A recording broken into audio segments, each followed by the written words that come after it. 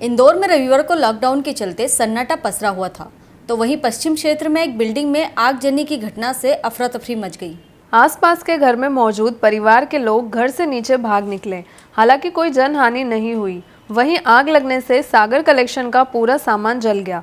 घटना की सूचना मिलने के बाद दमकल की गाड़ी भी समय पर पहुँची और आग पर काबू पाया गया।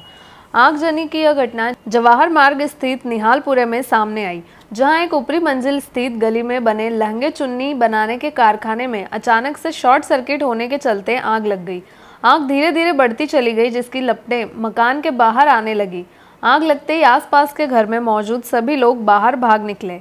वहीं कारखाने में रखे सभी लहंगे चुन्नी जलकर खत्म हो गए। समय रहते दमकल की गाड़ी मौके पर पहुँची और आग पर काबू पाया, नहीं तो आग लगने से बड़ी हानि हो सकती थी। इंदौर से ब्यूरो राकेश सच्चर के साथ सतीश शर्मा की रिपोर्ट।